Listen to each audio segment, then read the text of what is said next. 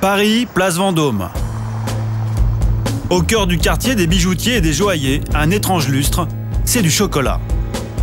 Chef-d'œuvre signé Jean-Paul Lévin, 50 ans, sculpteur de chocolat, orfèvre des maîtres chocolatiers français. Trois boutiques de luxe à Paris, quatre au Japon et des douceurs réputées dans le monde entier. Ici, mouler le chocolat est considéré comme un art. Dans le secret de son atelier, le meilleur ouvrier de France nous dévoile sa dernière création. Alors là, on est en train de, de mouler l'escarpin euh, en chocolat. Je trouve que le glamour et le chocolat, ça va bien ensemble, oui. C'est de la haute précision, à défaut d'être de la haute couture. Parce que la moindre, euh, le moindre écart, ça casse. On casse une sur trois. Du cousu humain. Très beau, j'adore ça. Et on peut constater qu'il y a même euh, l'imprimé du cuir derrière. Il n'y a pas de client type pour ça.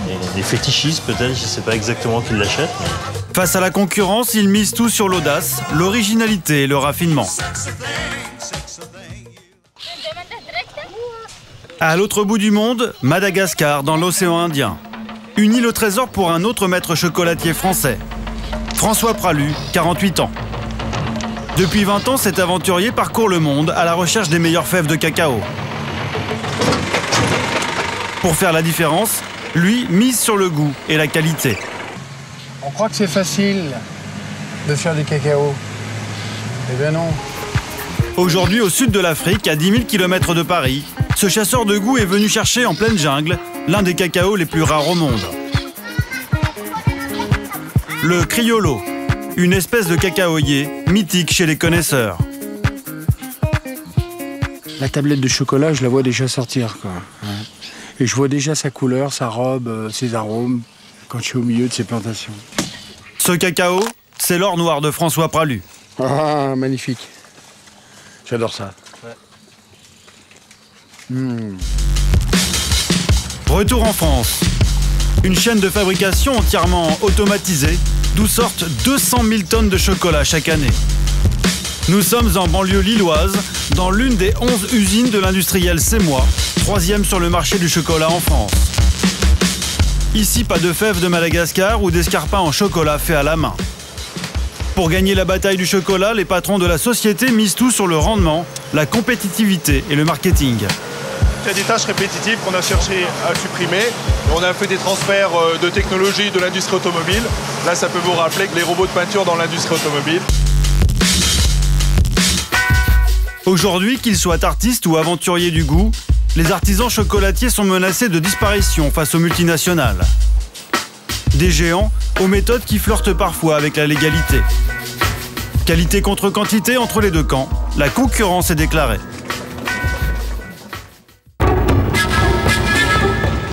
La bataille du chocolat commence dans ces champs de cacaoyers à Madagascar. Pour François Pralu, direction une petite plantation de quelques hectares, dirigée par un Français. Il est venu négocier des fèves de cacao.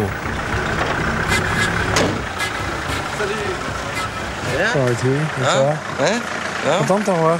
Selon François Pralu, c'est ici que l'on trouve le meilleur cacao. Je connais les autres plantations aussi de Madagascar et je préfère le cru Milo parce qu'ils ont une méthode de récolte et de fermentation qui est vraiment exceptionnelle à Madagascar. On va voir le cacao. Une qualité exceptionnelle, résultat d'une minutie toute particulière portée au cabosse de cacao. Récoltés à la main, puis séchés au soleil pendant trois semaines, selon un rituel ancestral. Ça va? Et ma désirée, elle va faire le- la danse du cacao.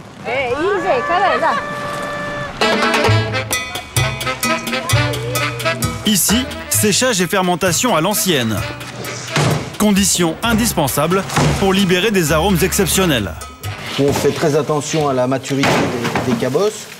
Qu'on a déjà tout présélectionné au champ. euh, donc on a vraiment ici euh, de la fève de top qualité qui ne peut être que réussie. quoi. Eh oui. Mais à savoir-faire exceptionnel, prix exceptionnel. Autour de 4 euros le kilo, 4 fois plus que le cours mondial. Il est presque prêt là. Ouais, il est quasiment prêt. Là. Et François Pralu a peu de marge pour négocier, car la récolte de cette année s'annonce d'excellente qualité. Qu'est-ce que t'en penses? Super fruité. Hein. Floral. Mais super hein, ton cacao. Maintenant c'est le prix quoi. Il va être super aussi ou pas?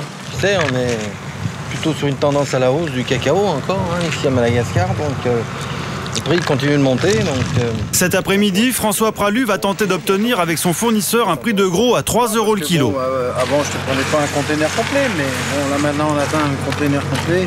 on peut peut-être faire un, un petit effort et diminuer un peu le prix. Le patron de la plantation est dur en affaires. 3,50 3,50 euros le kilo, une petite folie. 150 ça me convient. Bon François alors? Pas le choix, Top là? Le fournisseur est en position de force. Cette plantation fait l'un des meilleurs cacao au monde. Donc les prix suivent en conséquence, puisqu'on est dans les 4-5 fois plus cher que, que le cours mondial. Il y a une guerre euh, de la qualité, de, de l'origine. euh, Tout le monde cherche des grands crus. Et puis tout le monde veut du cacao de Madagascar. Donc euh, comme on est une petite production, il y a forcément une guerre parce que tout le monde ne peut pas avoir les quantités qu'ils veulent. Pour quelques précieux sacs, François Pralu a dû débourser une petite fortune, 40 000 euros. C'est le prix de la rareté et ce n'est pas très rentable. Car face à lui, des multinationales comme Nestlé, Ferrero ou Cadbury ratissent des régions entières d'Afrique de l'Ouest ou d'Amérique du Sud pour ces précieuses cabosses. Bien loin des exigences de François Pralu, ce sont des milliers de tonnes de cacao de moins bonne qualité qui débarquent par conteneurs entiers chaque année dans les ports français. Peu importe, François Pralu a décidé de résister.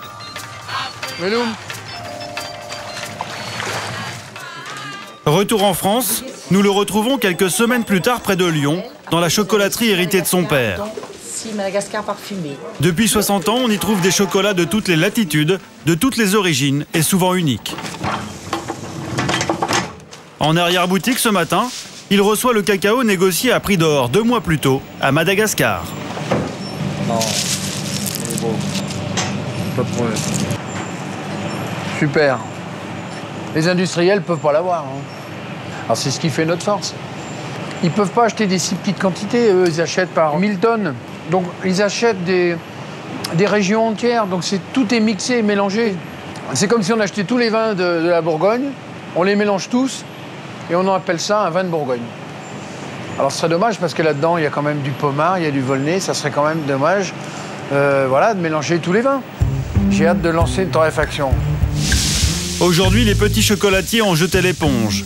En France, ils ne sont plus que trois, comme lui, à fabriquer encore leur propre chocolat. Là, on commence à écouter les fèves qui éclatent. Elles chantent.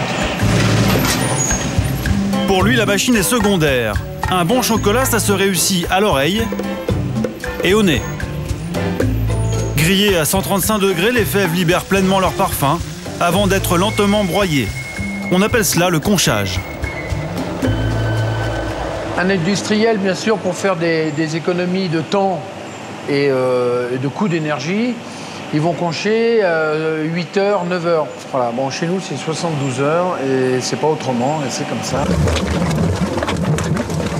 C'est vrai que le prix de revient de ce cacao, ben, il est un petit peu plus cher, bien sûr, que les industriels. Mais le résultat est là. Dosage, temps de cuisson, à chaque manipulation, il peut rater sa cuvée. C'est toujours un petit moment d'inquiétude quand même. hein. Il y a toujours un grand suspense chaque fois qu'un chocolat est terminé. Euh, Une expédition de 10 000 km, des fèves payées à prix d'or. Tout cela pour quelques litres de savoureux nectar. De quoi fabriquer quelques dizaines de tablettes seulement. Parfait. Non, je suis très content.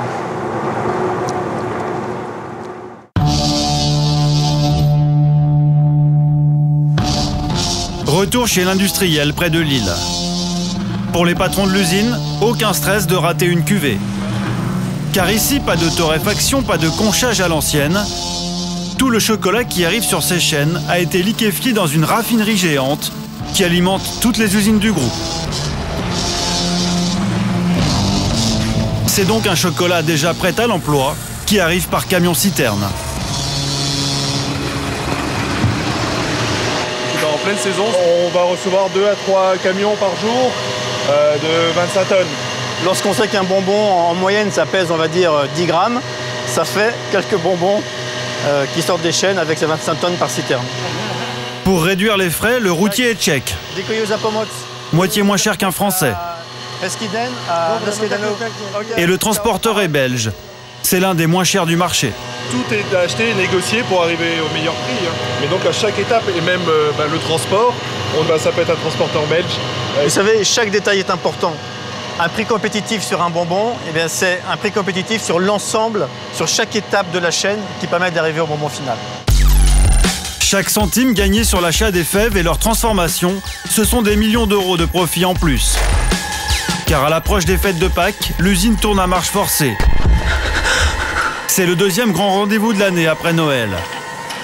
Pour Pâques, 40 000 tonnes de bonbons produits par quelques humains seulement et une armée de robots. Le principe, c'est qu'un un robot va attraper un bonbon et vous avez ici la caméra qui va euh, voir où sont les bonbons, qui va filmer les bonbons et comme ça qui va donner l'information au robot où est-ce que le robot doit les positionner, chercher les bonbons et ici dans quel alvéole il doit mettre le bonbon.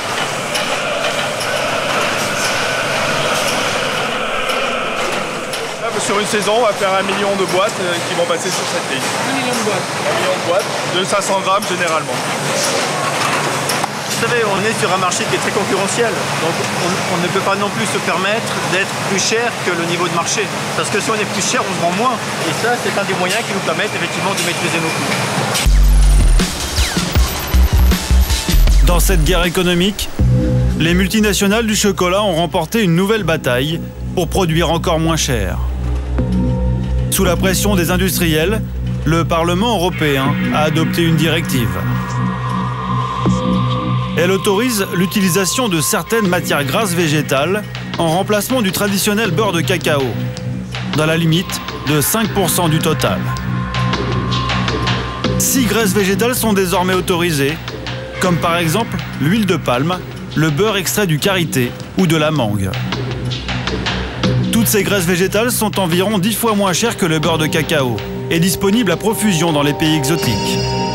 Chez Semois, on assure pourtant ne pas avoir recours à de tels procédés qui diminuent la qualité du chocolat.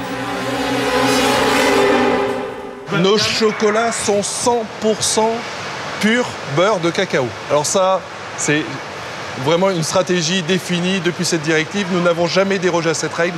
Tous les chocolats qu'on met en œuvre pour nos produits sont 100% pur beurre de cacao. C'est une conception du cacao, c'est une conception du métier de chocolatier. Soit on fait du chocolat avec 100% de matière de cacao, soit on commence à essayer de vouloir faire des manipulations pour aller chercher d'autres caractéristiques. Pas de graisse végétale Pour le vérifier, nous avons fait analyser un assortiment produit par cette usine. Et le résultat est surprenant. Nous sommes près de Bordeaux, au laboratoire de la répression des fraudes, dirigé par le professeur Medina. C'est ici que sont passés au crible tous les chocolats saisis en France dans les boutiques ou les supermarchés. Voilà quelques échantillons. Peut-être si vous pouviez commencer par celui-là. Ce matin, une dizaine d'échantillons et notre boîte, un assortiment de pralinés. La méthode, séparer les deux couches de chocolat qui composent le bonbon. Le chocolat de couverture qui enrobe et le chocolat de fourrage qui se trouve à l'intérieur. Les matières grasses sont ensuite extraites par centrifugeuse. Parce que nous, ce qui nous intéresse, c'est que la matière grasse. Voilà. Ça, c'est la matière grasse qu'on va juste extraire. Quelques gouttes seulement, dont les molécules sont isolées avec le précieux concours de l'informatique. Et voici le résultat. Dans le fourrage, vous avez présence de ces matières grasses. Ces pics montrent bien ici qu'il y a matière grasse végétale, bien entendu, autre que le beurre de cacao. Alors on peut dire, le- le- ici il y a copra, c'est ça, ici? De la copra, une huile végétale extraite de la noix de coco. Contrairement à ce qui est annoncé par les industriels, il y a bien des matières grasses végétales dans le chocolat de fourrage à l'intérieur. En revanche, rien dans le chocolat de couverture qui enrobe le bonbon. Donc c'est chocolat de couverture. La directive européenne fait la différence entre les deux. Seul le chocolat de couverture est réglementé. Dans le fourrage, c'est la liberté totale, à condition de l'indiquer sur la boîte. Ici, on a la composition, euh, bon, il faut la lire. hein. Ici, on a la présence de matière grasse végétale. C'est indiqué. Donc il n'y a pas de fraude. Non, il n'y a pas de fraude a priori, bien sûr. Rien d'illégal, mais une réglementation hypocrite, dénoncée dans la presse. Dans un article au titre évocateur, Alternative économique annonce la défaite du goût. Et selon le quotidien Le Monde, la guerre du chocolat s'achève par la victoire totale des MGV, les matières grasses végétales. Et par une défaite écrasante des défenseurs du vrai chocolat, vaincus par la puissance des multinationales du secteur. Et selon la directive européenne, le produit qui contient des MGV peut continuer à s'appeler chocolat. Pour Jean-Paul Evin, l'artiste de la place Vendôme, partisan du 100% cacao, la défaite est amère. La raison essentielle pour mettre des matières grasses euh, végétales autres que le beurre de cacao, c'est surtout une raison de prix.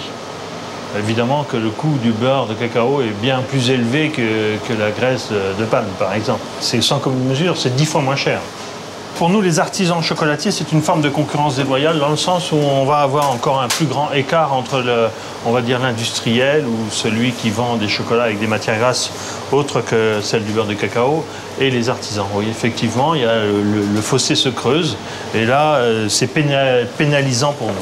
Parce qu'on va dire, ah, les artisans, oui, vous êtes bien, vous êtes gentils, mais vous êtes toujours très chers. Jugés trop chers, les artisans ne représentent plus que 10% du marché.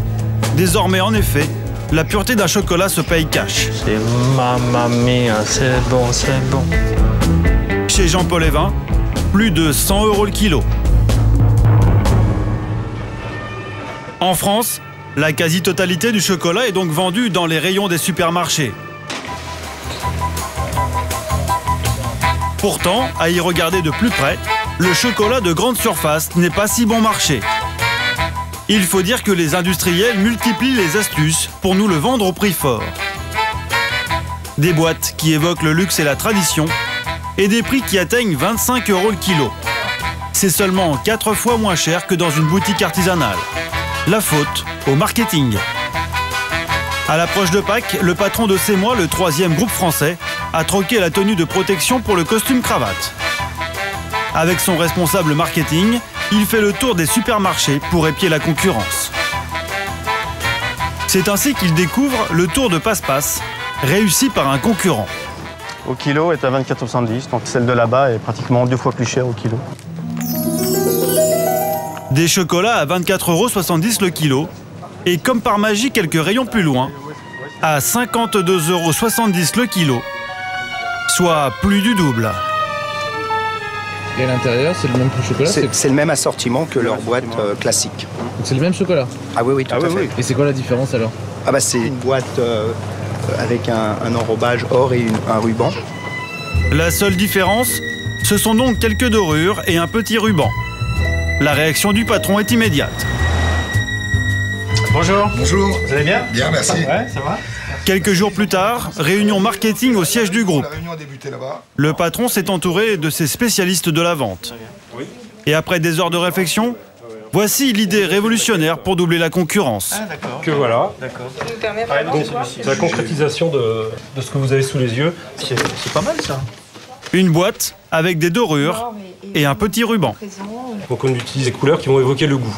Les couleurs chaudes, les couleurs chocolat, les nuances de marron, euh, les noirs. On peut penser que les gros plaquages or, bah, c'est sans doute un peu fini. Donc on utilise l'or en petites touches. Et toujours le nœud, Le parce qu'on voilà. on a un nœud vraiment collé.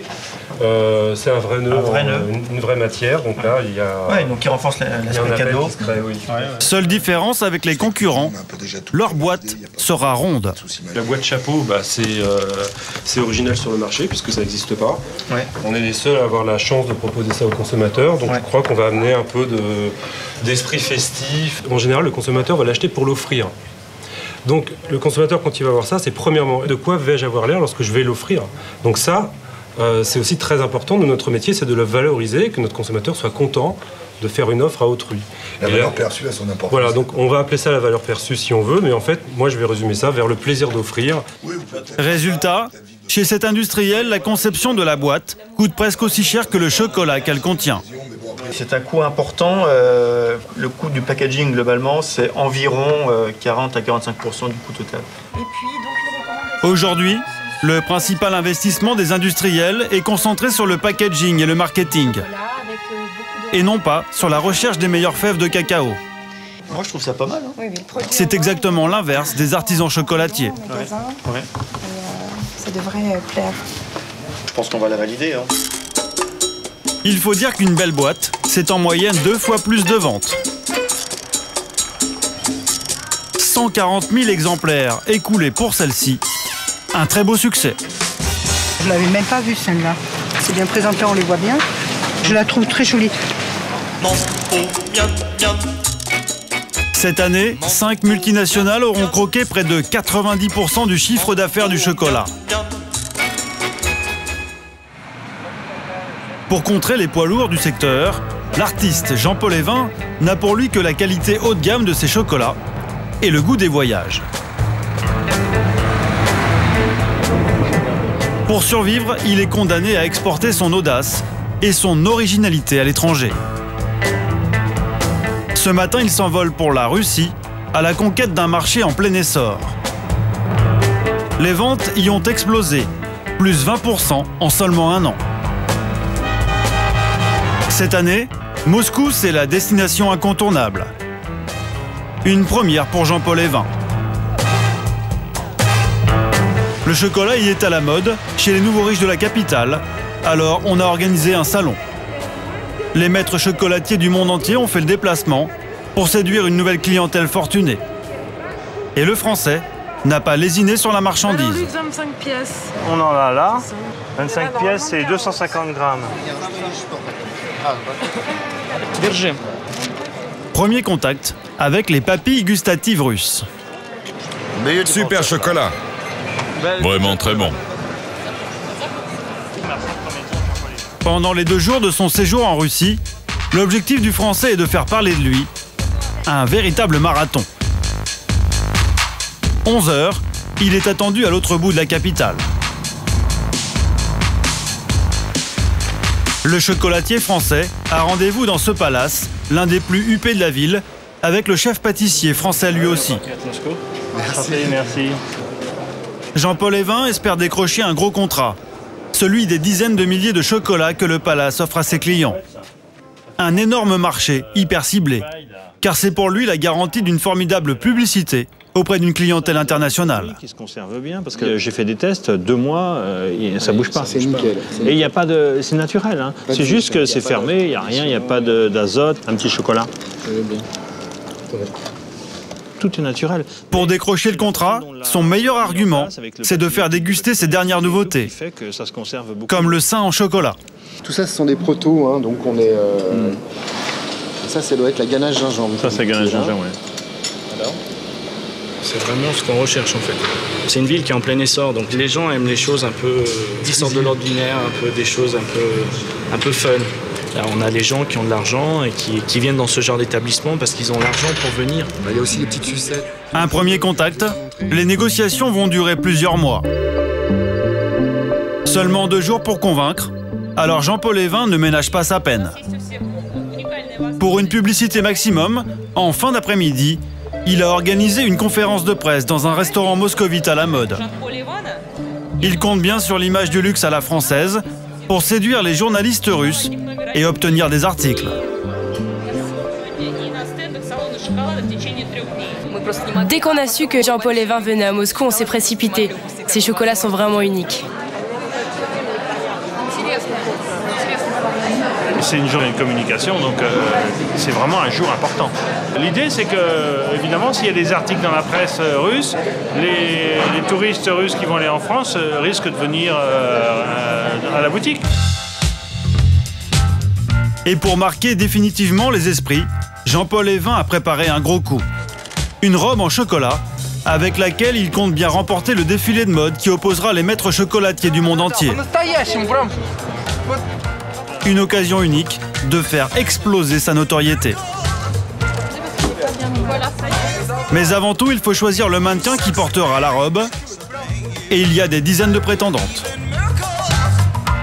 Euh, c'est la numéro 7, elle est bien. Ça, c'est pour une robe un peu plus hard. Sa démarche, elle n'est pas bonne. Elle, ne va pas avec ma robe. Elle va être trop brutale, sa démarche. Finalement, ce sera Irina, 18 ans, 1m92. C'est validé Oui, c'est validé. Pourquoi Qu'est-ce qui vous a fait craquer C'est comme ça, c'est le feeling. J'ai choisi une qui avait de la poitrine et euh, comme j'ai un soutien-gorge qui est quand même assez important, euh, avec une petite jupe qui va être assez courte, qui va être très jolie. Alors, surtout qu'elle prenne, alors qu'elle prenne comme ça. J'aime le chocolat et j'aime la mode. Alors les deux ensemble, euh, c'est vraiment super. Je suis très heureuse. Le défilé, c'est demain, en clôture du salon. Retour à Madagascar. L'aventurier du chocolat, François Pralu, a commis une petite folie pour réaliser son rêve. Il vient d'acheter sa propre plantation de cacaoyers. Bah, c'est comme, comme, c'est comme mon jardin secret. Il m'a fallu déjà 4 ans avant de trouver un terrain approprié pour planter du cacao. Donc là, ça commence à sentir le cacao. Dans l'un des endroits les plus reculés du monde, il a décidé de tout investir. Ça va, mon ami Au nom du goût. Ami Justin, le chef pépiniériste. La plantation de François Pralu, une cinquantaine de salariés malgaches. Salut, mon ami. Ah 27 hectares de terres inhospitalières et 25 000 arbustes de sa variété préférée, le criollo. Ils ont été plantés récemment, hein Ils sont beaux, hein Tu vois, il faut faire gaffe, hein, il y a peut-être des chenilles. hein. Ici, sur l'île de Nocibé, on pense qu'il y aura une qualité particulière, puisque cette terre est, est très volcanique. Belle terre. Génial. Et elle est noire, elle se tient bien, elle est, elle est un peu grasse, elle est riche. S'il plante aujourd'hui, c'est parce qu'il redoute une disparition totale des meilleurs cacaos sous la pression économique des multinationales. Pourquoi faire du bon euh, et du beau et de la très haute qualité? Ben D'abord parce que ça va commencer à devenir rare. Et il y a quand même une petite pénurie de, de cacao très fin. De me mettre moi-même planteur et agriculteur, au moins je suis sûr que je serai sûr de ma récolte. Mais pour lui, c'est un peu l'investissement de la dernière chance. Car la première récolte est attendue en 2010 seulement. Oh papa. En attendant, il faut payer les voyages depuis la France et régler d'avance les semences et le personnel. Tiens mon ami Justin. T'as bien travaillé. Elle est bien belle ta pépinière. Moi, ma survie, c'est euh, c'est d'aller euh, c'est d'aller toujours en avant. Et d'aller. euh, c'est la qualité en fait qui nous pousse en avant. C'est une fuite en avant. Mais une belle fuite. Une fuite en avant par passion du chocolat et par amour pour Madagascar. Ça, c'est quand même l'animal fétiche hein, de Madagascar. Près d'un million de Malgaches vivent de la culture du cacao. La plupart n'ont jamais entendu parler des industriels, du marketing et de la bataille du chocolat qui se déroule à l'échelle de la planète. Comme à Moscou, où c'est l'heure du défilé de robes en chocolat, devant tous les critiques de la ville. Rendez-vous essentiel pour la notoriété internationale de l'artisan chocolatier, Jean-Paul Evin.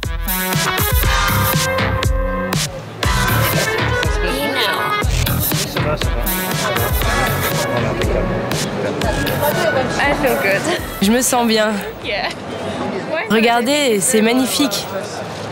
Maintenant, il faut que les filles me, me donnent un petit peu de, un peu de peps à tout ça et qu'elles soient élégantes et qu'elles nous fassent euh, briller tout ça. Dernière retouche et tension maximum. D'autant plus que la concurrence s'annonce sérieuse.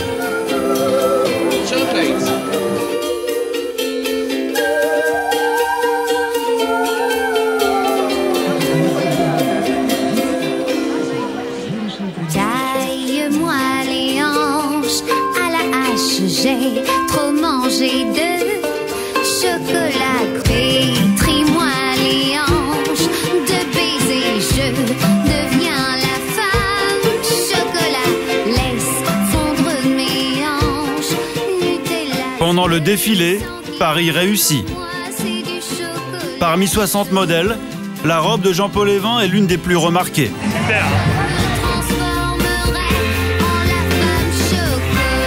Le mariage de la haute couture et du chocolat pour quelques minutes de rêve. De quoi oublier pour quelques instants la déroute des artisans face aux industriels. Les usines à chocolat alimente désormais 90% du marché en France. De quoi frôler l'indigestion. J'ai trop mangé de chocolat.